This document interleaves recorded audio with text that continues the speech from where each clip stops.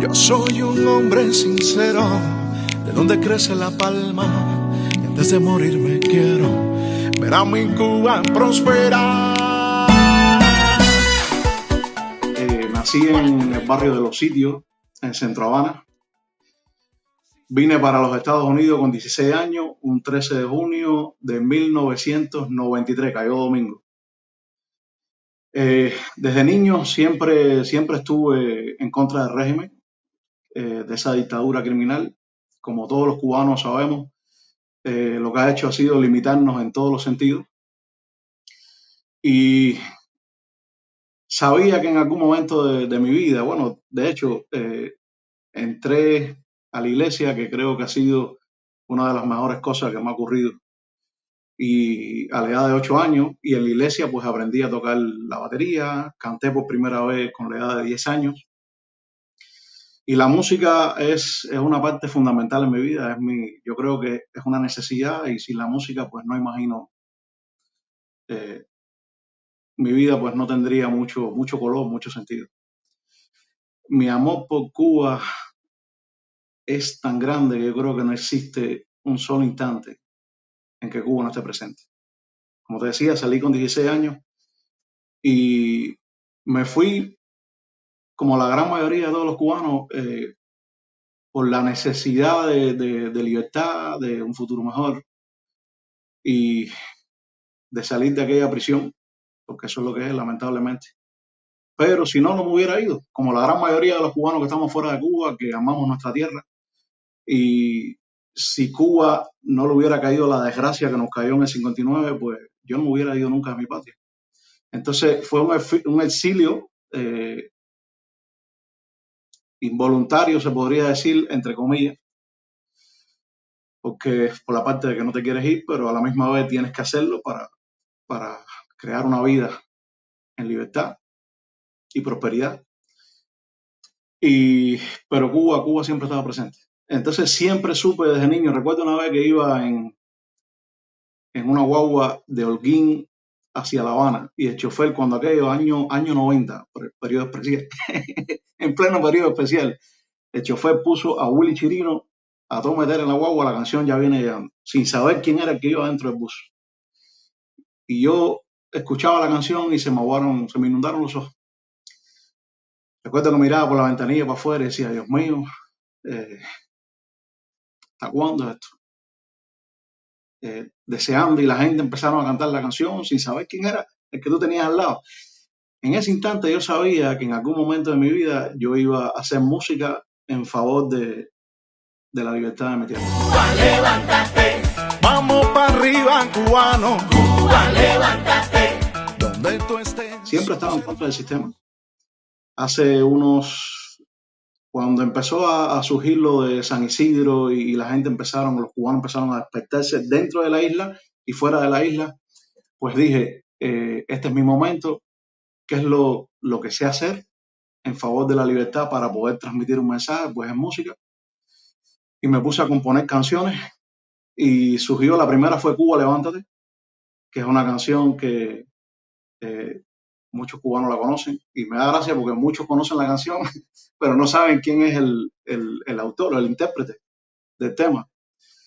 Y la idea del, de Cuba Levántate fue, le escribí a varias personas que eran lo que, las caras más conocidas que estaban activas en ese momento y le dije que si querían participar en el video, que se grabaran con su teléfono, con su celular, eh, un fragmento como doblando la canción y que yo lo iba a incorporar en el videoclip. Entonces, pues el primer video es yo cantando en el estudio y las imágenes de cubanos dentro de la isla y por todo el mundo, Europa, eh, América, América Latina, eh, cantando el tema, diciéndole a Cuba que, es momento de levantarse. Esa fue la primera. Después de Cuba Levántate, digo, caramba, hay que hacerlo de mamá. Y las tres canciones empiezan con un verso de José Martí. La primera es Yo soy un hombre sincero, de donde crece la palma. Cuba para la calle, que es la segunda, empieza con Cuando un pueblo emigra, los gobernantes sobran. Y la tercera es Cuba Sálvate, que es una balada. Las dos primeras es un grito de guerra y Cuba Sálvate es una canción más al corazón. Digo, caramba, no fue, no fue con la... Lo hice una trilogía, pero la idea original no fue hacer una trilogía. ¿Qué pasa? Cuando voy a hacer Cuba para la calle, invité a personas que ya habían participado en el primer tema y me di cuenta que aunque la letra es diferente, la música es diferente, pero tenían cosas en común, y seguí un patrón, digo, voy a crear una trilogía, y ahí sale Cuba para la calle, que salió dos días antes del 11 de julio, o sea, que fue una canción casi, se puede decir que premonitoria. Eh, sale Cuba para la calle y después, en diciembre de ese mismo año, eh, hice Cuba Sálvate, que es una balada. Y pues, para mí yo creo que no hay satisfacción más grande que los mensajes de, de agradecimiento de nuestros hermanos dentro de la isla y, y fuera. Cuba, levántate.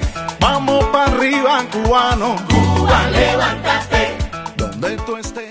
Pues ha sido una bendición poder transmitirle mi música a mi gente y, y que a través de, del mensaje del arte, de la música, personas de otros países que han sido engañados con nuestra realidad, porque tirano se encargó por muchos años de,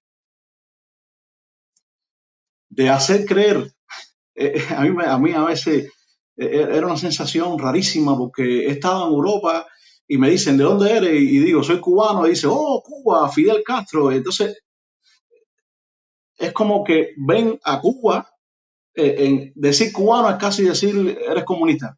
Y no es así.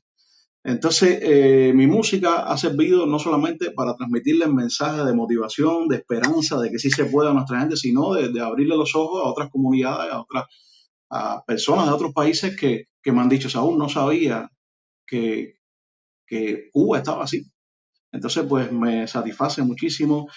Eh, en la trilogía participaron muchas personas, eh, o sea, hermanos dentro de Cuba y fuera de Cuba y, me satisface también que los temas, pues, eh, en el caso de, Alex Otaola, que es, eh, es uno de los, de los, youtubers, se podría decir, líder, o es el líder de alguna forma, es, el más conocido, pues me satisface que, que, mi música es un mensaje diario que, que, sale en su programa, bueno, de lunes a viernes. Ahora mismo, con Alex, tengo en el programa sonando a veces ponen hasta cuatro y cinco veces las canciones. Por ejemplo, la, canción de apertura, que es la apertura del programa, eh, esa eh, en el segmento de puesta de dedos eh, ponen Cuba levántate o Cuba para la calle, lo van variando.